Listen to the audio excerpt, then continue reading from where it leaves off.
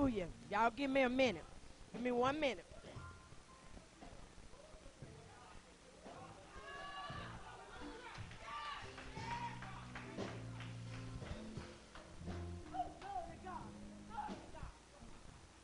People are standing in line to get in this church to hear a word from God. Every seat is filled in every service with expectations, signs, wonders, and miracles. Our Sunday morning service at 10 o'clock, our Wednesday night service at 7 o'clock, and any other service that we might have. Every need in this ministry is met, and we are 100% tithe givers. All our property is paid in full, and we owe no man nothing but to love. Every member in this church is healed, healthy, blessed, and prosperous. And we are reaching the world with our gospel through our prayers and support. This is a prosperous year for us, where doors of success has been opened. We shall succeed in everything in Christ. The doors of failure has been closed, and we shall not know defeat. For this is a prosperous year for us. The doors of success has been opened. We shall succeed in everything in Christ. The doors of our failure have been closed. And I don't speak. For this is a prosperous year for us. The doors of success has been opened. We succeed in everything in Christ. The doors of failure has been closed. And we shall not know defeat. And being fully persuaded that what he has promised me, he will perform in Jesus' name. Amen.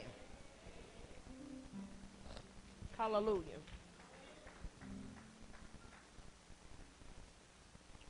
Y'all know we're not a traditional church. We don't do anything in a traditional way. We don't preach, we don't sing, we don't worship, and we don't praise. We, so we just ask you today, y'all just come in and be with us. Oh Lord, my God, when I in some wonder considered all the world thy hands had made, I see the stars. I hear the rolling thunder, thy power throughout the universe display. Then sing my soul, my Savior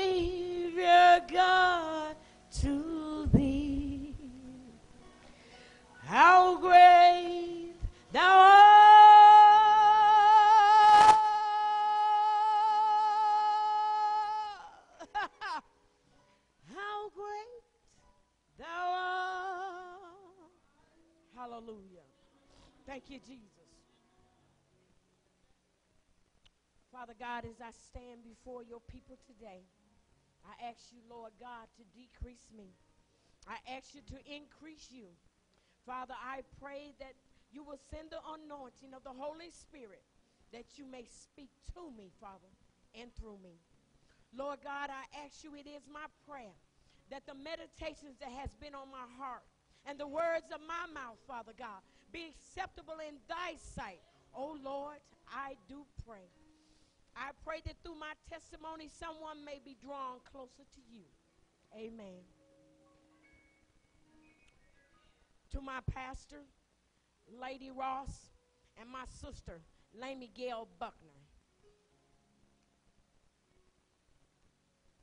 To the ministers, my children, my family, and you, my sisters and brothers in Christ, it is indeed, indeed an honor to stand before you today, to give you the testimony of my life and how I became to stand before you today as one more servant of God.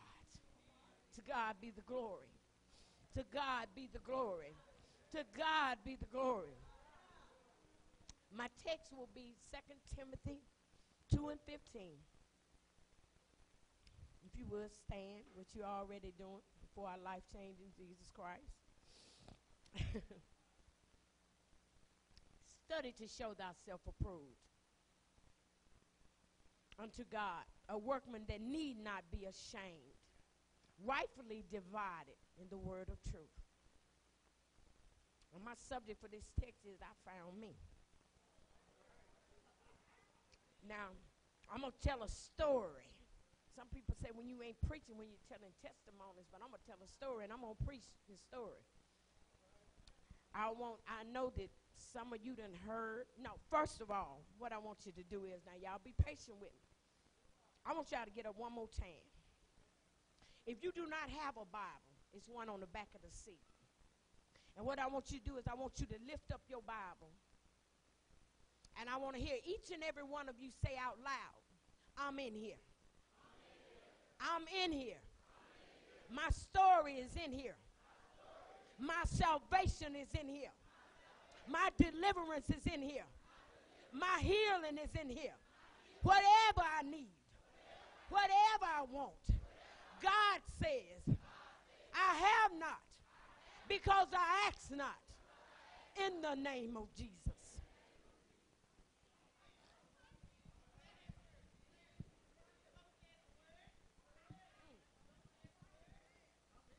Hallelujah. Now, I know most of you in here have heard my story about being a crack addict, homeless, even sick on my deathbed. But what you have not heard about is the road that it took to, get me to stand before you today.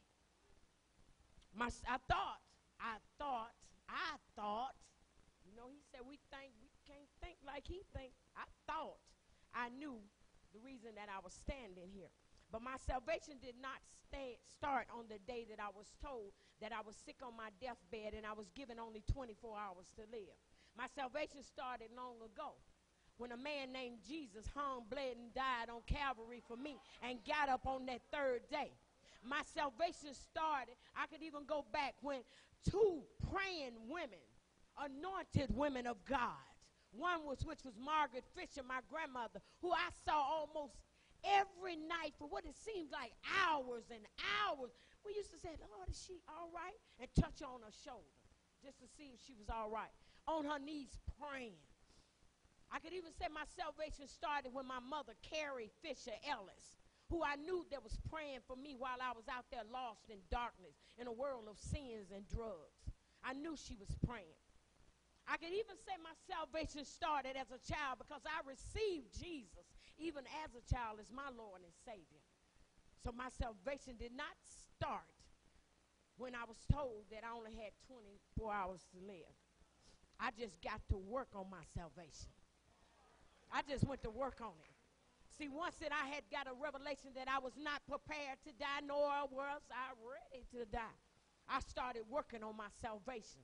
I made a bargain with God. Oh my God. I made a bargain with him and I told him, and this ain't what this says right here. I made a bargain with the Lord. And I told him, Lord, if it be your will, if it be your will that you let me live this day, if you let me live, because see, I had called my family and told them to come on because they didn't gave me 24 hours. I had called my pastor, which was Cecil Coleman then, and told him to come on because they gave me 24 hours to live. My pastor wasn't getting there fast enough, so they called in the priest to read me my last rites. How many of you know that God has the last word? He has the last say. It ain't what the doctors say, it's what he said. He had the last say. So I began to, to bargain with God, to tell him, say, Lord, if it be thy will, let me live. Say, Lord, I'll live for you. I'll go. Now, y'all pay close attention to what I'm saying here because I know y'all done heard it before. I said, Lord, this is going to lead you to why I'm standing here. Because, see, God holds us accountable what we say. He searches our hearts. We need to say what we mean and mean what we say because he ain't no joke. He gonna bring it back to your remembrance and he gonna hold you accountable for it. So I told him, said, Lord, if you let me live, because I done heard my mama say this so many times in her prayer. Say, I'll go where you tell me to go. Yeah, this is what I told him. I'll say what you tell me to say. Lord, whatever it is, Lord God, I'll work it out. I'll do it, Lord. Let me live. This is what I told him. This is what I told him. But let me get back to my notes. Jesus. Hallelujah. Thank you, Jesus. Thank you, Jesus. Hallelujah. Thank you, Lord God. Now, those two remarkable women that I told you about who believed in the word of God, they practiced what they preached. One of which was Proverbs 22 and 6. Train up a child in the way that they should go. And when they grow old, they will not depart from it. See, even when I was out there smoking crack, even when I was out there in them streets, there were people around me that were telling me, this ain't you. this ain't you. What you doing out here? This ain't you. What are you doing out here? You're not going to. I saw people that were 80 years old and 90 years old, and my heart grieved. And I said, Lord, I don't want to be doing this when I get old. Lord, I don't want this to be me. But you know, I couldn't find a way to put it down just then. But I was having people telling me. But it was that word, that word, that word, that word that says, train them up. Train them up in the way they should go. And when they grow old, and I'm going to tell you, I was old when I let go the crack. So when they grow old, they won't depart from it. So I came right back to that word of God. Trusting and believing. Trusting and believing and knowing. Knowing what I had to do. Now that I had repented, I got to skip y'all. I know y'all said I done went here, but I can't tell y'all the whole story. Deborah told me don't tell it all. I'm to say something. I love you. now that I have repented, have been healed, delivered, and began a new life, I started going to church. But there was so much that I had to learn. I knew that I had to learn how to live for God. See, sometimes we get it confused. We go back to church, we repent, we come back before the altar, and we give it to God and say, Lord, take this away. I'm, I'm sorry, you know. But we don't really start. We don't really start. We go back out the door and we do the same thing. We don't really give him nothing. We just go back to that. But see, in order to get something, you got to give something. You know, so what we have to do is, so as I repented, I started working on what I had to learn. But I didn't think or could even imagine that it would consist of becoming a minister. I couldn't. I had a conversation with a niece of mine once, and I told her, I don't know how we got on the conversation, but I told her, I said, Tina, I need something to give to God of me. Y'all stay with me. Bear with me, okay? She said, What do you mean? I said, I'm doing so much in the church. I'm the van driver. I'm the custodian. van. van driver. I'm the custodian. I'm the intercessor prayer warrior. I'm the uh, mission department. I sing in the choir. I'm doing so much. And I said, I need something to do for me. And she said, What do you want to do? Preach? I said, Girl, gone. Ain't nobody trying to preach. No, I don't want to preach. She said, Baby, ain't nowhere else for you to go but preach, auntie. That's it. You got to just don't have to preach. So I said, Okay. Now I'm giving y'all, I'm letting y'all know, I'm giving you these little pointers on how I got up here. the more that I went to church, the more I heard the preacher, the more I read my Bible, the more I began to find me. Y'all thought I wasn't gonna never get that, didn't you? The more I did find, me. I found me, y'all. I found me. You know how you see some things, you see some uh we sit up and we watch TV. I got something for everybody today. I'm trying my best, Pastor Hill, make this show. I found I found me. What I did was, you know how you sit up and you watch a movie and they are so inspired. We've watched movies that inspires us to live our life better. We've watched them. We've seen people that have went through things and we was like, oh wow. Well, you know what?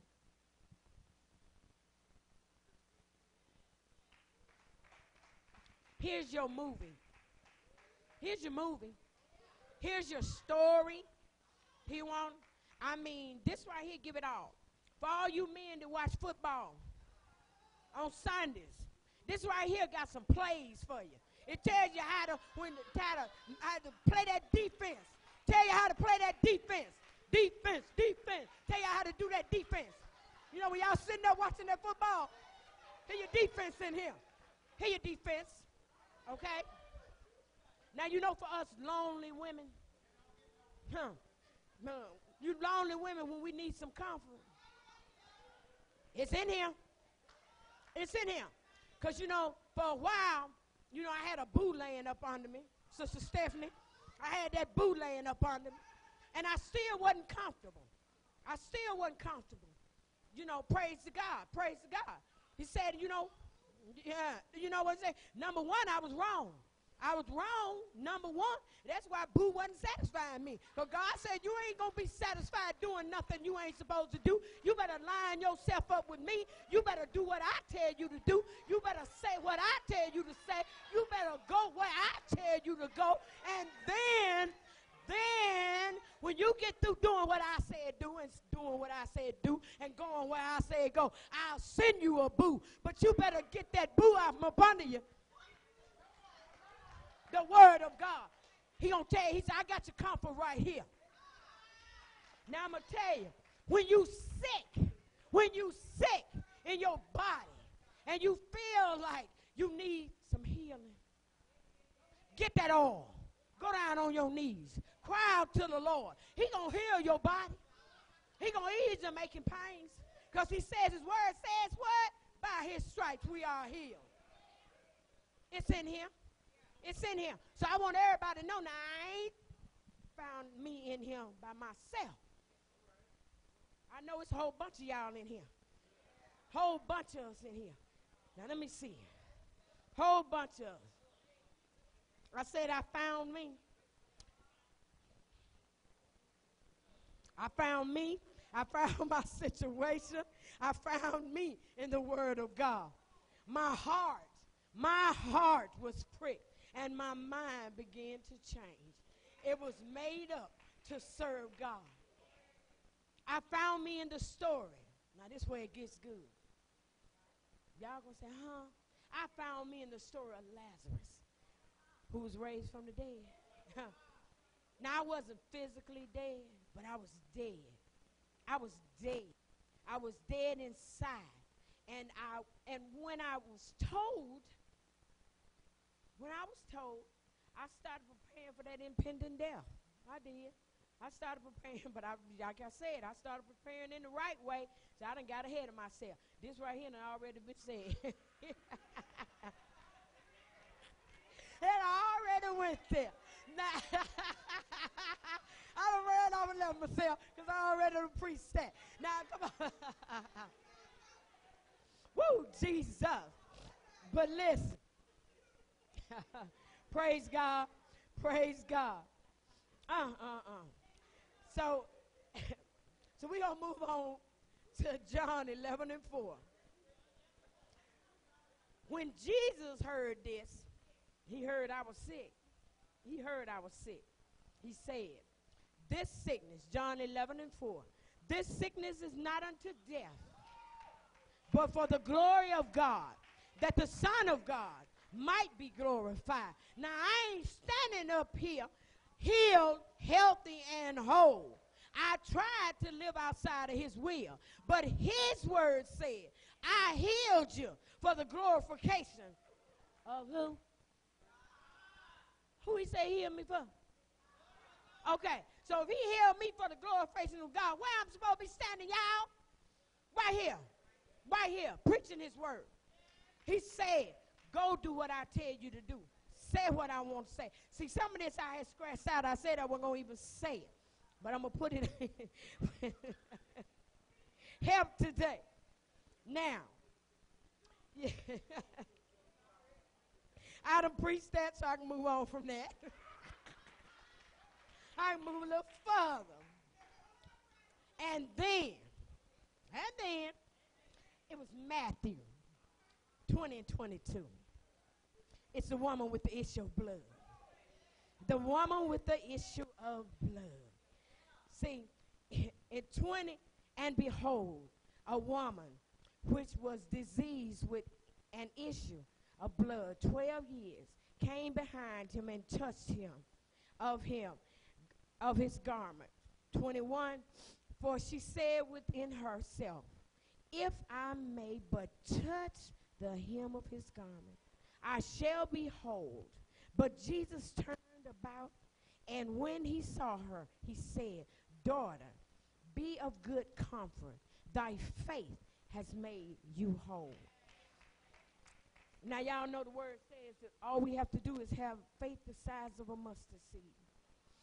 All of this is going to come together because even though I was living a world of a life of sin out there in the world,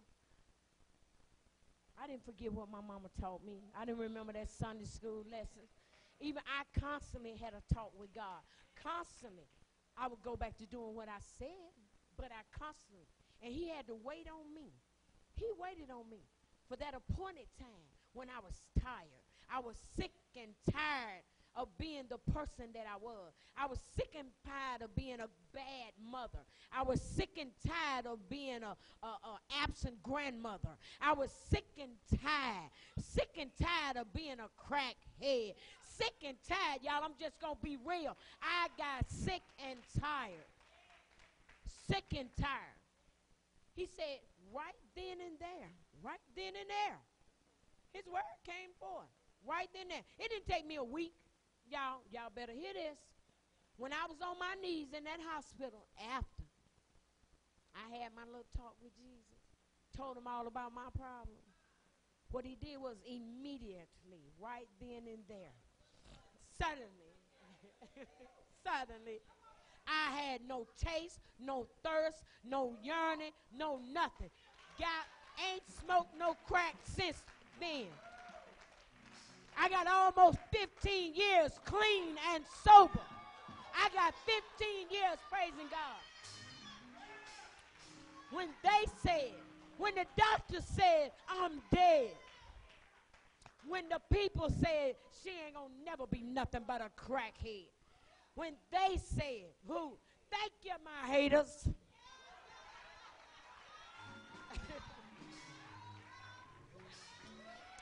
thank you because you know all of my haters, you bless me.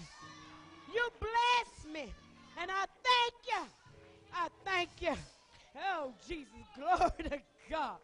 Glory to God. Lord, have mercy, Jesus. Lord, have mercy, Jesus. I no longer have an issue with drugs. But I want to say this. I had an incident couple of weeks ago, they had some painters that were working out Hickey Garden. And they had said, you know, they've been being friendly and giving me compliments on how my house was and everything. And, you know, and, you know, really extra friendly. And one of them said, well, my dad's a preacher. He's a Episcopal preacher. I said, well, amen. He said, well, what are you? I said, what do you mean, what am I? I mean, what, what, are we, what are you going towards? I said, what do you mean, what am I going? What do you, what do you represent? I said, well, okay, I am a non-denominational church. I said, our church is a non-denominational church. I said, but we serve the same God that the Pentecostal serve. It's all about him and ain't about them. He said, uh, yeah, somebody told me that you were a preacher. I said, yes, I am. He said, well, I got something to ask you. Now, many of you know me. Many of you know me from way back then, Dexter. From way back then, you know me. Life changed life changing experience. God done removed some things. He done smooth me out, slow me down. Because the next thing he said to me, y'all know. He said, Well, please tell me, you ain't now one of them crackhead preachers.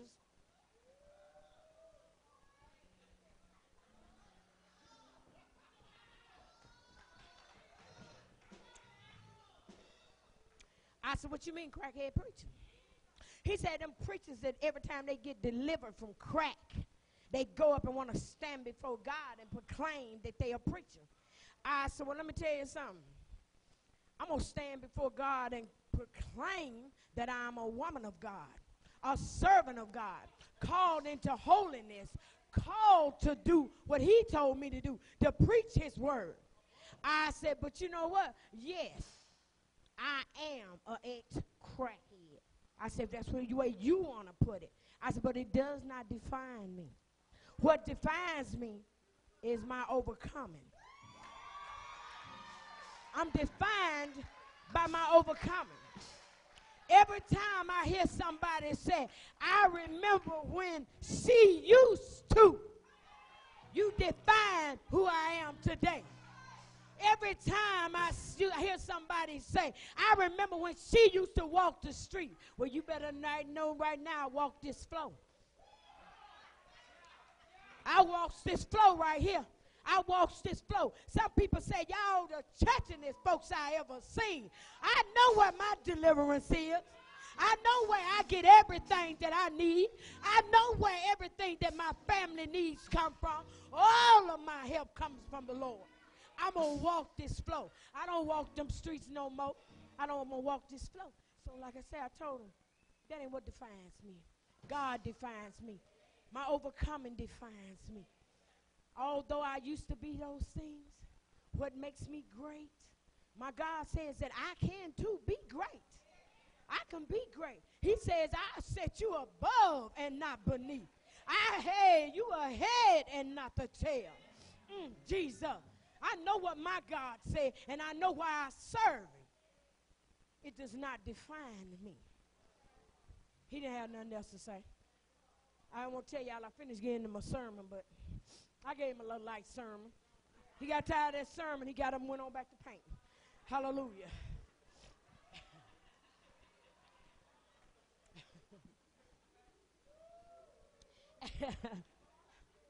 okay. I think I already preached this. Hallelujah, Lord. I realize that there is a struggle for me, and there will always be a struggle. But I know that my struggles come only to make me strong. I know that there's nothing too hard for God. I know that God ain't going to put no more on me than I can bear. Because let me tell y'all something.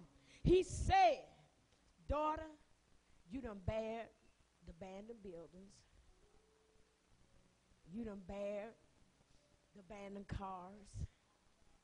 You don't walk the streets with nowhere to go. You beg for food. You already did what you had to do. Now, what I have for you is blessings. You have overcome the world as I have overcome the world for you. I have nothing for you, daughter, but blessings. I do what I do because I love my family. I do what I do because I love me. I do what I do is because I love God. Y'all, when I tell you I love Him, I'm overwhelmed. I'm overwhelmed sometimes. I find myself with nothing that I could. Lord, have mercy, Jesus. Just can't say nothing else. But I love you. I love you, Lord. I love you. Okay, let me find where I'm at. Then the Lord went again and showed me me. Now, y'all remember now, I'm showing me in here. Now, I know some of y'all in here. He went again and showed me me when he went to Jeremiah 1 and 15. Jeremiah 1 and 15. Before I formed, the, formed thee in the belly, I knew thee. And before I came forth, before you came forth out of the womb, I sanctified thee, and I anointed thee I ordained thee, I prophet as a prophet without a nation, a prophet to the nation. I'm sorry, y'all, I can't see because I'm crying. My God has already known me. He already knows me. He already knew me, even when I didn't know myself. When I got the revelation and the understanding that I had been called, he was right there leading me and guiding me back to Philippians 1 and 6. Be confident of this very thing, that he which has begun a good work in you will perform it until the days of Jesus Christ. You see, God was telling me, don't you worry, daughter. You might stumble, you might fall, you might even get tripped up every and but don't worry about it. I got you. Because everything that I says has to come to pass. God is not a liar, nor is he a son of God that he should lie, not a son of man that he should lie. He's not a liar. So when he says something in his word, it's going to come to pass. So he told me, don't be afraid. I hope that my testimony has helped someone. I would like to leave you with this God will confirm everything he does in your life. The day that I accepted my calling, I went home. Before I could get home, I got a text message. So I couldn't get it because I was driving. And my text message was from a man that I had been in a relationship. A man that I had had a relationship while I was out there smoking crack. We both were crack smokers.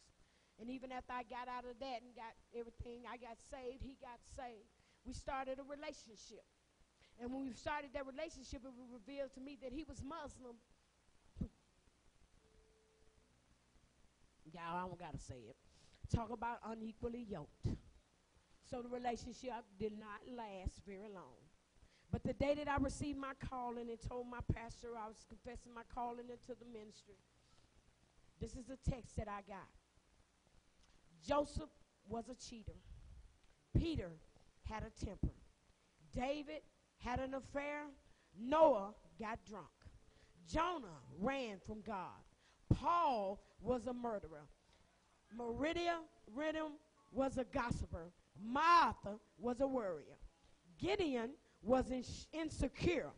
Thomas was a doubter. Sarah was impatient. Eli was depressed. Moses stuttered. Zechariah was short. Abraham was old. And Lazarus was raised from the dead. Woo! Debetta Bray was a crackhead in the name of Jesus. God does not call the prepared. He called those that he prepared. To God be the glory. To God be the glory. To God be the glory. To God be the glory. To God be the glory. As I close, I leave you with this. God is no respecter of persons. We are all God's children, and He loves each and every one of us the same. And as in any loving relationship, loving relationship, uh, you got to give something to get something. What he did for me, he can do for you. The question I put to you today do we all love God the same? Do we love him the same? What are you willing to give God to get all that he has for you? And I challenge you to study, study to show yourself approved. I challenge you to find yourself in the Word of God. Amen.